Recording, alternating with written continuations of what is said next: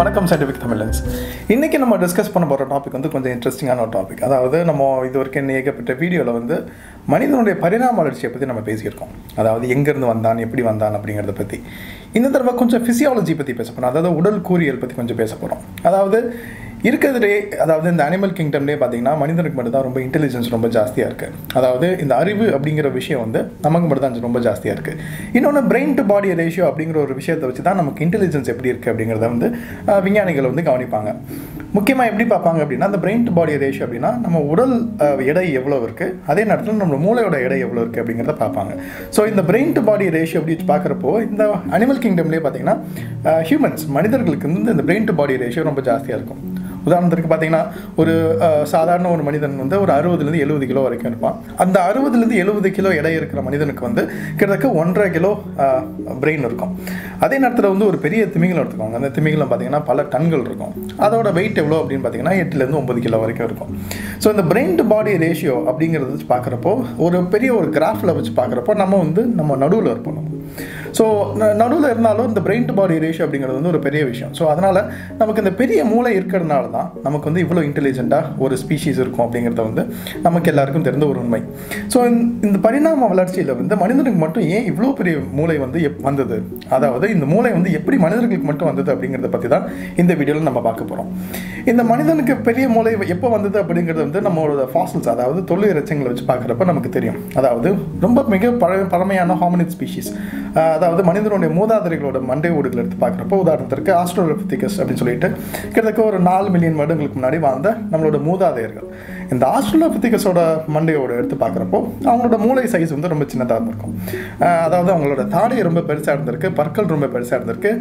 கண்கள் கூட கொஞ்சம் முன்னாடி துருத்தி இந்த ஃபோர் ஹெட் அப்படின்னு சொல்லுவாங்க. இந்த ஃபோர் ஹெட் முன்னாடி துருத்தி இருக்குது அதே நேரத்தில் வந்து பார்த்திங்கன்னா அவங்களோட மூளையோட அளவு வந்து ரொம்ப கம்மியாக இருந்திருக்கு. ஸோ அந்த ஆஸ்ட்ரலோபித்திகஸ்க்கு அப்புறம் பார்த்திங்கன்னா நிறைய ஸ்பீஷீஸ் இன்டர்மீடியட் ஸ்பீஷீஸ்னு சொல்லுவாங்க. நிறைய பேர் பரிணாம வளர்ச்சி அடைஞ்சு வந்திருக்காங்க. அதுக்கப்புறம் போய் பார்த்தீங்கன்னா ஹோமோ ஹாபிலிஸ் அப்படின்னு சொல்லிட்டு ஒரு ஸ்பீஷிஸ் வருது. ஹோமோ ஹாபிலிஸ்க்கு அப்புறம் பார்த்தீங்கன்னா ஹோமோ எரக்டஸ் அப்படிங்கிற ஒரு ஸ்பீஷீஸ் வருது. முன்னாடி ஒரு வீடியோவில் வந்து ஹோம் எரக்டஸ் பற்றியும் டிஸ்கஸ் பண்ணியிருந்தோம். இந்த ஹோமோ எரக்டர்ஸ் வர்றதுக்கு அப்புறம் தான் இந்த மனிதனோட மூளையோட சைஸ் வந்து கொஞ்சம் பெருசாக ஆரம்பிக்குது. ஸோ அது வரைக்கும் ஆறு மில்லியன் வருடங்களுக்கு முன்னாடி நமக்கும் சிம்பன்சி கொரிலாக்கும் இடையே ஒரு பெரிய பரிணாம வளர்ச்சியில் ஒரு ஸ்பிரிட் நடந்திருக்கு. அதுக்கப்புறமே பார்த்தீங்கன்னா old world monkeys new world monkeys சொல்லிட்டு குரங்குகள்லாம் ஒரு ஒரு பக்கத்தில் போயிடுச்சு. இன்னொரு பக்கத்தில் மனிதனோட மூதாதையர்கள்லாம் ஒரு பிரான்ச்சில் வராங்க. அந்த சைடில் வரப்போ அவங்களோட மூளை வந்து படிப்படியாக பெரிதாகுது. ஸோ அந்த அந்த எவல்யூஷனரி ட்ரெண்ட் அப்படின்னு சொல்லுவாங்க. இந்த சீக்வன்ஸ் வச்சு பார்க்குறப்பவே நமக்கு வந்து தெரியுது அதாவது ஹோமோ எரக்டர்ஸ் முன்னாடியிலிருந்தே மனிதனோட மூளை வந்து பெரிதாக ஆரம்பிச்சிருச்சு அப்படிங்கிறாங்க. நியாண்டத்தால்ஸ்லாம் போய் பார்த்தீங்கன்னா இப்போ இருக்கிற சராசரி மனிதனோட மூளையை விட அவங்களுக்கு கொஞ்சம் மூளை ரொம்ப ஜாஸ்தியாக இருந்திருக்கு. ஆனால் அவங்களோட பாடி மாஸ் பார்த்தீங்கன்னா ரொம்ப பெருசாக இருந்திருக்கு. ஸோ இதெல்லாம் வச்சு பார்க்குறப்போ விஞ்ஞானிகள் என்ன சொல்கிறாங்க அப்படின்னா ஒரு ரெண்டு மில்லியன் வருடங்களுக்கு முன்னாடி தான் இந்த டிரான்சிஷன் நடந்திருக்கு அப்படிங்கிறாங்க. ஆனால் நிறைய பேருக்கு இருந்த கேள்வி எப்படின்னா இந்த ஏன் இந்த மூளை வந்து இவ்வளோ பெருசாக வந்திருக்கு? ஏன் ரெண்டு மில்லியன் வருடங்களுக்கு முன்னாடி வரைக்கும் இவ்வளோ பெரிய சான்சஸ் வந்திருக்கு? எதனால இந்த பரிணாம வளர்ச்சி நடந்தது? இந்த பரிணாம வளர்ச்சி நடக்கிறதுக்கு எது ஒரு உந்து சக்தியாக இருந்தது அப்படிங்கிறத பற்றி ஆராய்ச்சி பண்ணி பார்க்குறப்போ ரிச்சர்ட் ராங்கம் அப்படின்னு சொல்லிட்டு ஒரு பிரிட்டிஷ் விஞ்ஞானி. அவர் என்ன பண்ணுறாரு அப்படின்னா இந்த ட்ரெண்ட் எல்லாம் பார்க்குறாரு இந்த ட்ரெண்ட் எல்லாம் பார்த்ததுக்கப்புறம் ஒரு கன்க்ளூஷனுக்கு வராரு. மனிதன் இவ்வளோ இன்டெலிஜென்ட்டாக இவ்வளோ ஒரு பெரிய மூளையோடு இருக்கிறதுக்கு ரொம்ப முக்கியமான காரணம் வந்து நம்ம சமைச்சு சாப்பிட்றதுனால தான் அப்படிங்கிறாரு. Cooking how cooking made us human அப்படின்னு சொல்லிட்டு ஒரு பிரமாதமான ஒரு புக்கு ரிச்சர்ட் ராங்கம் எழுதியிருக்காரு. டைம் கிடைக்கிறப்ப அந்த புக்கையும் படிச்சு பாருங்க. ரொம்ப டீட்டெயில்டாக நான் ஆர்கியூமெண்ட் இருக்குது அந்த புக்கோட ஒரு சாராம்சம் தான் இந்த வீடியோ ஸோ ரிச்சர்ட் ராங்கம் என்ன சொல்கிறார் அப்படின்னா ரெண்டு மில்லியன் வருடங்களுக்கு முன்னாடியிலேருந்தே நம்ம மனிதர் வந்து ஃபயரை கண்ட்ரோல் பண்ண ஆரம்பிச்சிட்டோம் அப்படிங்கிறாரு. அதாவது கண்ட்ரோல்டு ஃபயர் இதுக்கு முன்னாடி வரைக்கும் தீயை கண்டுபிடிக்கிறதுக்கு முன்னாடி வரைக்கும் நிறைய ஒரு வேஸில் வந்து மனிதர்கள் வந்து தீயை வந்து பார்த்துருக்காங்க. அதாவது ரெண்டு மில்லியன் வருடங்களுக்கு முன்னாடியே மனிதர்கள் அதாவது மனிதர்கள் ஒரு மூதாதையர்கள் இருந்திருக்காங்க. அவங்க வந்து தீ எப்படி பார்த்துருப்பாங்க அப்படின்னா பார்த்தீங்கன்னா ஒரு பெரிய வல்கானிக் எரப்ஷன் ஒரு பெரிய எரிமலை வெடிச்சது மூலமாக ஏற்படுற தீ குழம்பு இல்லாட்டி ஒரு பெரிய மின்னல் வெட்டுறதுனால ஒரு காடு தீப்பூச்சி எரியும். இந்த மாதிரி பார்க்குறப்போ அவங்க வந்து தீயை பார்த்துருக்காங்க. ஸோ அதுதான் ஃபஸ்ட்டு ஒரு இது.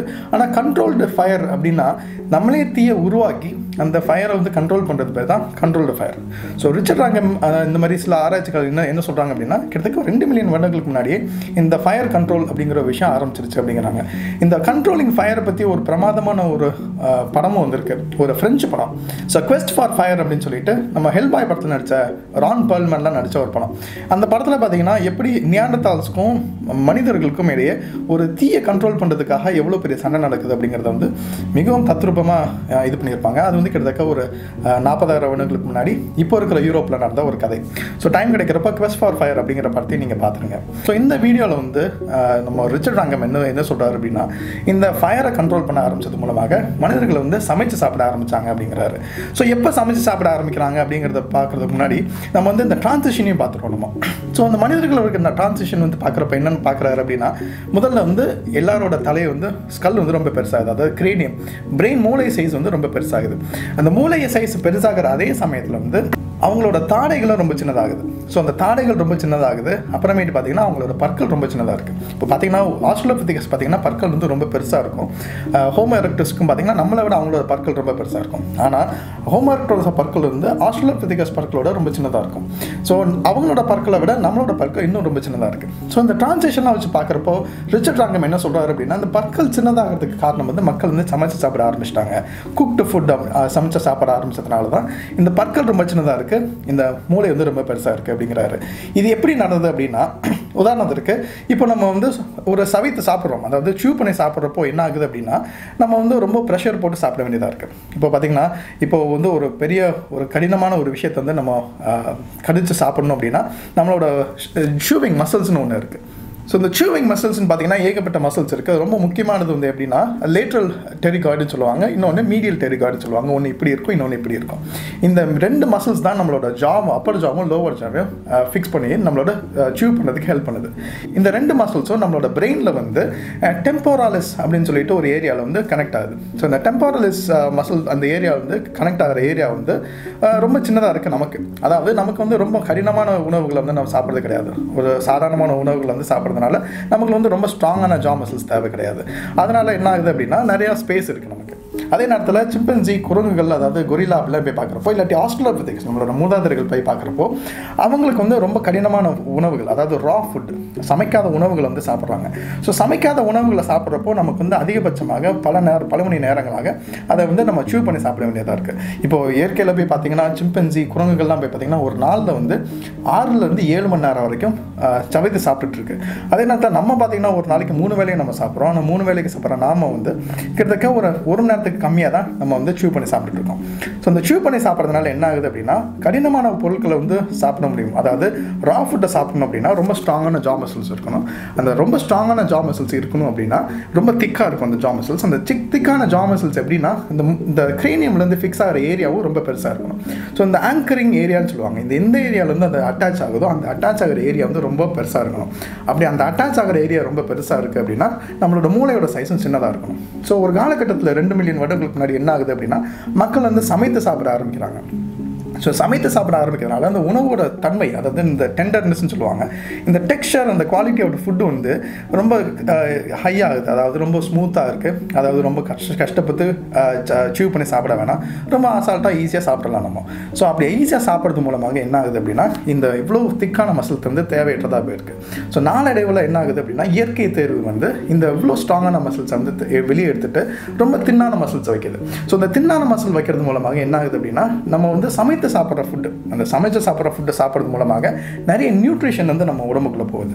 இந்த இப்போ மூளை எப்படின்னு பார்த்தீங்கன்னா ஒரு ரொம்ப ஹைலி ஒரு ஒரு நியூட்ரிஷன் கன்சியூமிங் ஆர்கன் அதாவது நம்ம உடம்புல இருக்கிற பல பாகங்கள் இருக்குது அதாவது இருதயம் இருக்குது கல்லீரல் இருக்குது கிட்னி இருக்குது இந்த எல்லாத்துக்கும் போய் பார்த்தீங்கன்னா நிறைய எனர்ஜி தேவைப்படுது. ஆனால் இந்த உடம்புலேயே ரொம்ப அதிகமாக எனர்ஜி தேவைப்படுற ஒரே ஒரு பாகம் எதுன்னு கேட்டிங்கன்னா நம்ம மூளை. நம்ம சாப்பிட்றதுல முக்கால்வாசி எனர்ஜி வந்து இந்த கேலரி இந்த நியூட்ரிஷன் எல்லாமே நம்ம மூளைக்கு தான் ஒரு ஃபியூவல் ஆக போகுது. ஸோ இந்த high high fuel consuming organ வந்து நம்ம உடம்புல இருக்கிறப்போ அதுக்கு தேவையான பாகங்கள் அதாவது நியூட்ரிஷன் தேவைன்னா நம்ம உணவு மூலமாக தான் கிடைக்கும். ஸோ இந்த காலகட்டத்தில் என்ன ஆகுது அப்படின்னா மக்கள் இந்த சமைத்த உணவை சாப்பிட்றது மூலமாக என்ன ஆகுதுன்னா நிறைய நியூட்ரிஷன் வருது. அதே நேரத்தில் வந்து அவங்க வந்து சூ பண்ணி சாப்பிட தேவையில்லை. ஸோ சூ பண்ணி சாப்பிட தேவையில்லாதனால இந்த சின்ன சாதாரணமான திக் மசில்ஸ் வந்து போயிடுச்சு.